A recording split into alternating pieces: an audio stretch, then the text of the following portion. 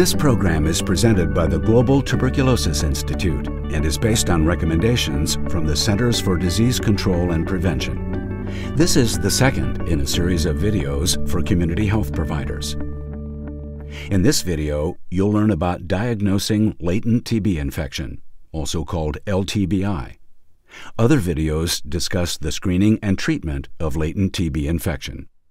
Tuberculosis, also called TB, is spread from person to person through the air. People who have pulmonary or laryngeal TB disease can spread infectious particles into the air when they cough, sneeze, shout, or sing. Infection occurs when another person inhales these particles and they reach the alveoli of the lungs. TB infection is diagnosed based on a number of factors a patient's medical history, test result for TB infection, chest radiograph, physical exam, and in certain circumstances, results of a sputum sample. If a person tests positive for TB infection, you must rule out TB disease before beginning treatment for TB infection. Remember, treating a patient for TB infection when they really have TB disease can lead to poor outcomes, including drug resistance. There are many important differences between latent TB infection and TB disease. The most significant difference is that someone with TB infection has no symptoms and cannot spread bacteria to others. Although they test positive for TB infection, their chest radiograph is normal and sputum specimens are smear and culture negative. Someone with TB disease usually does have symptoms. Symptoms may include fever, cough, chest pain, weight loss, night sweats, hemoptysis, fatigue, and loss of appetite. The test for TB infection may be positive, and the chest radiograph is usually abnormal. Sputum specimens are usually smear and culture positive. There are two approved testing methods available to detect TB infection in the U.S. The first is the Mantoux tuberculin skin test, also called the TST. The second is the interferon gamma release assay, also called IGRA. These tests help differentiate people who are infected with TB and those who aren't. However, a negative reaction to either of these tests doesn't exclude the diagnosis of TB infection or TB disease. Consider the complete clinical and epidemiologic information, particularly for high risk populations, such as people living with HIV. When administering a TST, ask the individual if he or she has had any symptoms of TB disease and record any symptoms. A small amount of tuberculin fluid is then injected intradermally in the patient's lower arm. The patient must return within 48 to 72 hours for an examination of any reaction. Look for a raised, hard area called an induration and measure its size with a millimeter ruler, ignoring any redness. Repeat a TST that wasn't properly measured and recorded in millimeters. Skin tests are interpreted based on several different factors. These factors are the size of the induration in millimeters, the person's risk of getting TB infection, and the risk of progression to TB disease if infected. People with a high risk of progressing to TB disease are considered positive if the induration is 5 or more millimeters.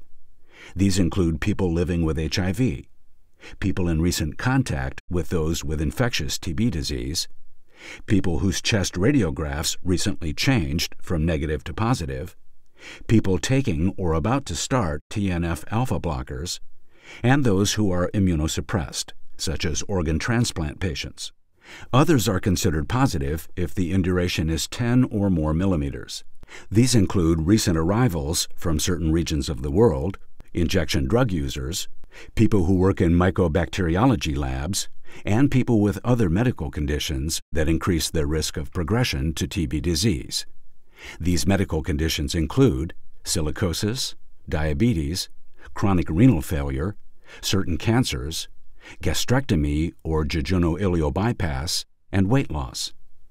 Other groups considered positive at 10 or more millimeters are residents or employees of high risk settings, such as correctional facilities, hospitals, and other healthcare facilities, and homeless shelters.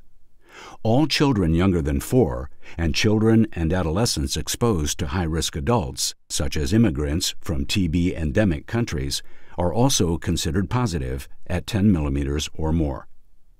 Otherwise, people with no known risk factors for TB infection are considered positive if the induration is 15 or more millimeters.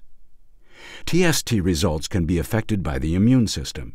Even people with TB disease may have a negative TST reading, for example, because their immune system is compromised. IGRAs are the second test for diagnosing TB infection. Two types of IGRAs are available QuantiFERON TB Gold In Tube, or QFT, and the T Spot TB. Both measure the immune response to TB proteins in blood. If someone is infected with TB bacteria, the white blood cells release interferon gamma. Test results are based on the amount of interferon gamma released. IGRAs have several advantages over TSTs. They require only one office visit, and results may be ready in 24 hours. IGRAs are easier to interpret and are not affected by either the BCG vaccine or the booster effect, which we'll talk about shortly. However, IGRAs have some limitations. The blood sample must be processed within 8 to 30 hours. Also, there's limited data about the test in children younger than 5, people who are immunocompromised, and those who are tested repeatedly. Results are reported in two ways. They can be positive, negative, or indeterminate, and are also given quantitatively. It's unnecessary to test someone if they have written proof of a previously positive test result or treatment for TB. It's important to use the appropriate test. Use IGRAs for people who are unlikely to return to have their TST read and those who had the BCG vaccine. Use TSTs for children under age 5. Either test can be used for others, but it's not recommended to use both tests together for diagnosis. When testing for TB infection, also consider the BCG vaccine, HIV infection, and the booster effect. The BCG vaccine is currently given in many parts of the world where TB is common. It's used to protect infants and young children from serious complications of TB disease. The vaccine isn't given in the U.S. Disregard BCG vaccination when testing for TB infection. IGRAs are not affected by BCG and are the preferred test for those who received BCG, either as a vaccine or for cancer therapy. It's critical that people living with HIV be tested for TB infection. Test for each known exposure to TB. Repeat TB testing after an HIV infected patient has started antiretroviral therapy. Finally, the booster effect can occur when someone infected with TB years ago has two skin tests within one year of each other. Even though the first test may have been negative, the second has a positive reaction because the first test boosted the immune response. For this reason, a two-step testing method is recommended for the skin testing of people who will be tested periodically, such as healthcare workers. If the first test result is negative, repeat the skin test in one to three weeks. Consider the person uninfected only if both tests are negative. The booster effect is not a concern with IGRAs, and thus repeat testing is unnecessary when using IGRAs. In cases where you need to repeat a test, use the same test. For example, if you use a TST for the first test, use the same method for the second. A second test may be needed for contacts, that is, people who were recently exposed to someone with infectious TB. All contacts whose first test is negative should be retested 8 to 10 weeks after their last exposure to an infectious TB case. This is because it can take 2 to 8 weeks for the immune system to respond and TB infection to be detected. Skin tests are safe and reliable for pregnant patients. However, as with any individual, test only if risk factors are present. Get a chest radiograph if the test is positive and use proper shielding. Conduct a physical exam and get a medical history for all patients you're assessing for TB infection. The medical history should include information about past TB test results and treatment. Get a chest radiograph to distinguish between TB infection and TB disease. Get a chest radiograph for someone who has a positive test result for TB infection. Get a chest radiograph even for someone with a negative test, but who has symptoms consistent with TB disease, or for children under 5 and immunocompromised persons. Get posterior to anterior and lateral views for children under 5. For others, a posterior to anterior view is adequate. If the chest radiograph is normal and there aren't any symptoms, then diagnose the patient with latent TB infection. If a person has either an abnormal chest radiograph or respiratory symptoms, such as cough, obtain at least three sputum samples for testing. Send the sputum samples to the lab for AFB and smear culture. Sputum samples should be collected at least eight hours apart, and one should be collected in the early morning.